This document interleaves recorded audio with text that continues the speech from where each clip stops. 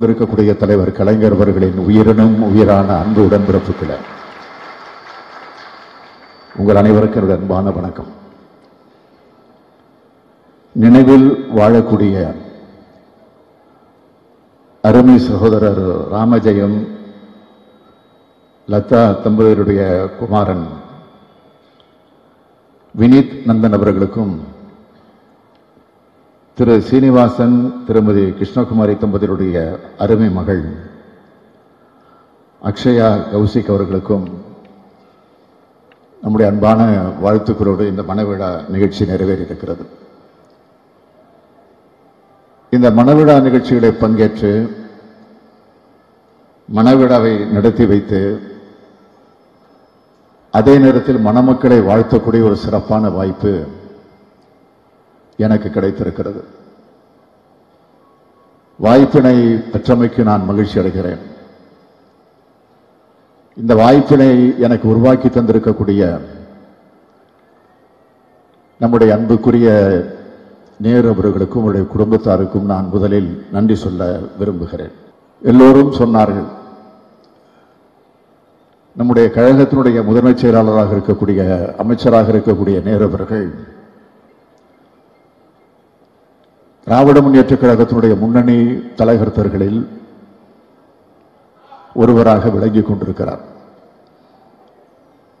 திருச்சின்னா அது நேரு தான் நேருனா அது திருச்சி தான்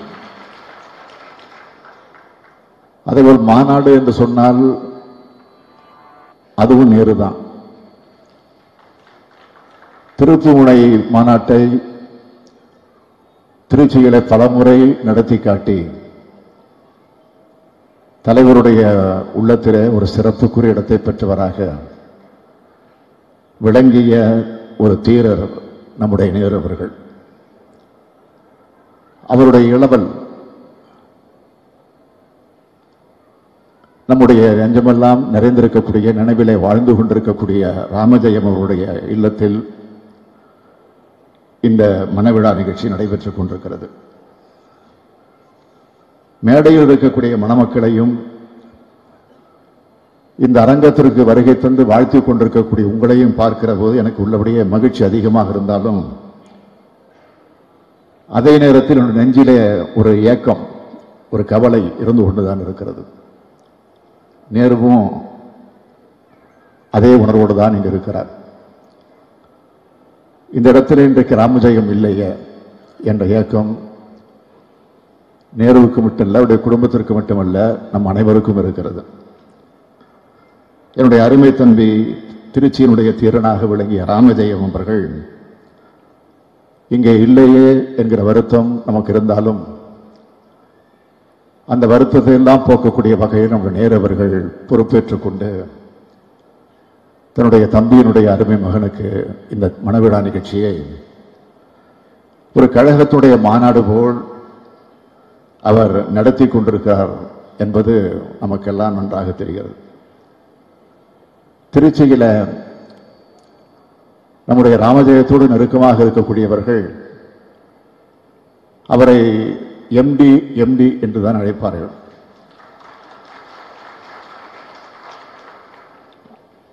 எம்டி என்பது மேனேஜிங் டைரக்டர் மட்டும் இல்ல அனைவரையும் வசப்படுத்தக்கூடிய மேக்னெட் டைரக்டராகவும் அவர் இருக்கிறார்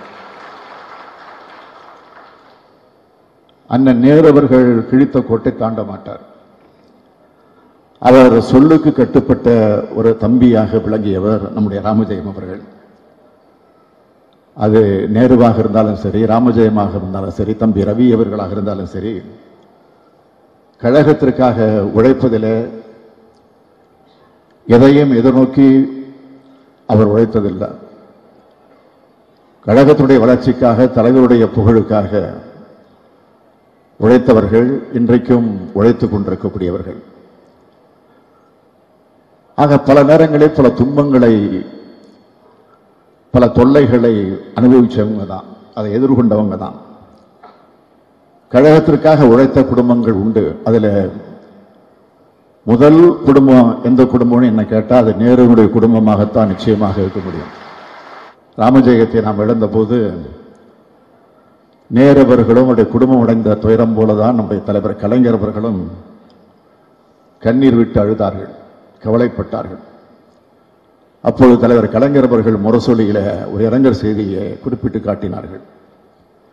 நேருவின் தம்பி ராமஜெயத்தை நேரில் நின்று எதிர்க்க முடியாமல் எப்படியோ கடத்தி கொண்டு போய் வீழ்த்தி விட்டது வீணர் கூட்டம். சிலையாய் நிற்கிறாய் நீ.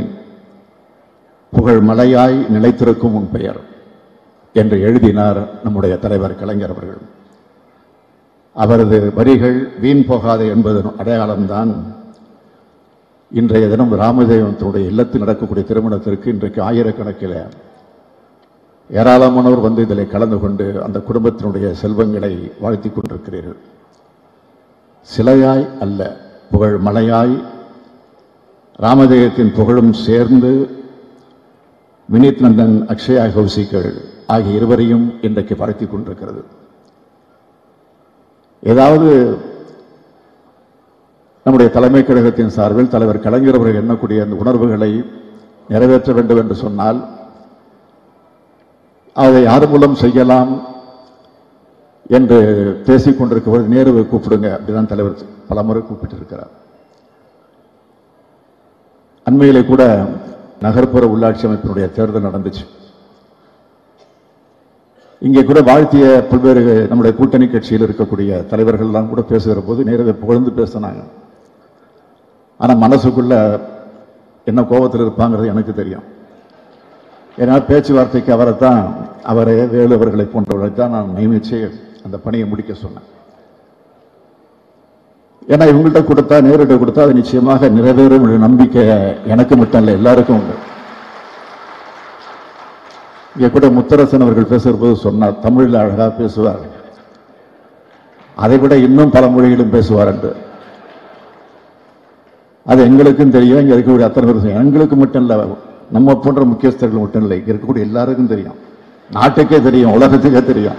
அவர் என்ன பேசுவார்கள் இன்னைக்கு தான் கொஞ்சம் அமைதியாக இருக்கிற காட்சியை நான் பார்க்குறேன். படபட படபடன்னு இருப்பார் எப்போதும். அங்கே ஓடுவார் இங்கே ஓடுவார் அங்கே ஓடுவார் இங்கே ஓடுவார். ஒரு இடத்துல நிற்க மாட்டார். ஆனால் இன்னைக்கு தான் அதுக்கு என்ன காரணம்? ராமஜெயம் இல்லையே என்ற அந்த காரணம் தான் இன்றைக்கு அவரை அமைதியாக நிற்க வைத்துக் கொண்டிருக்கிறோம் நீங்கள் கவலைப்படாதீங்க. நாங்கள் இருக்கிறோம் உங்களுக்கு.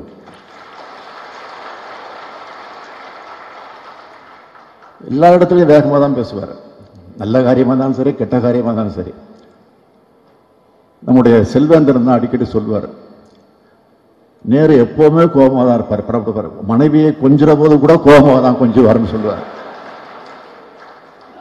அந்த அளவுக்கு நம்முடைய நேரவர்கள் ஒரு குடும்ப பாச உணர்வோடு எல்லாரிடத்திலும் அன்போடு பழகக்கூடிய அவர் அவருடைய அருமை தம்பி ராமஜெயமன் அவர்கள் இல்லத்தில் நடக்கிற இந்த திருமணத்தில் நம்மெல்லாம் கலந்து கொண்டு இன்றைக்கு மணமக்களை வாழ்த்தி கொண்டிருக்கிறோம்.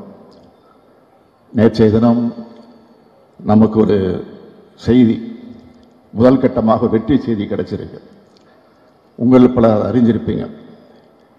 ஏழை எளிய நடுத்தர மாணவருடைய மருத்துவ கல்வியுடைய கனவை சிதைக்கக்கூடிய நீட் தேர்வுக்கு விலக்கு பெற வேண்டும். அதை சட்டமுன் சட்டமன்றத்தில் ஏற்றி நாம் ஆளுநருக்கு அனுப்பி வச்சோம். பல மாதங்கள் அ- கிடப்பிலே போடப்பட்டிருந்தது. அதற்கு பிறகு திடீரென்று ஒரு நாள் அதை திருப்பி அனுப்பி வைத்து விட்டார்கள்.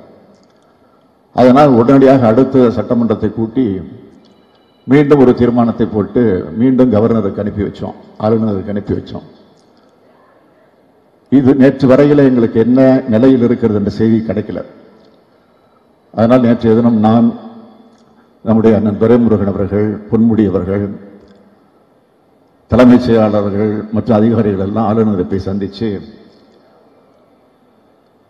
அந்த கோப்பை பற்றி விசாரித்தோம் விசாரித்தப்போ அவர் என்ன சொன்னார்னா எனக்கும் சட்டம் தெரியும். ரெண்டாவது முறை நான் அதை வந்து திருப்பி உங்களுக்கு அனுப்ப முடியாது.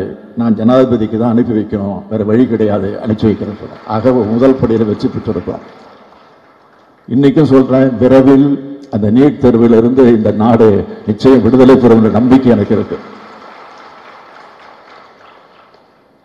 ஆக நேற்றைக்கு கூட நம்முடைய நாடாளுமன்றத்தில் நாடாளுமன்ற குழுவினுடைய தலைவர் டி ஆர் பாலு அவர்கள் இது பற்றி விளக்கமாக விரிவாக பேசி அங்க இருக்கக்கூடிய அனைவரையும் அவருடைய கவனத்தை எல்லாம் ஈர்த்திருக்கிறார். அதெல்லாம் இன்றைக்கு பத்திரிகைகளில் செய்திகளாக வந்திருக்கிறது. ஆக அப்படிப்பட்ட நிலையில் இன்றைக்கு இந்த ஆட்சி நடந்து கொண்டிருக்கிறது. எனவே இந்த ஆட்சிக்கு இந்த ஆட்சியின் அமைச்சரவையில் இடம்பெற்று மிக சிறப்பாக பணியாற்றி இந்த ஆட்சிக்கு பெருமை சேர்த்துக் கொண்டிருக்கக்கூடிய அமைச்சர்களில் ஒருவராக இன்றைக்கு நேரு விளங்கி கொண்டிருக்கிறார்.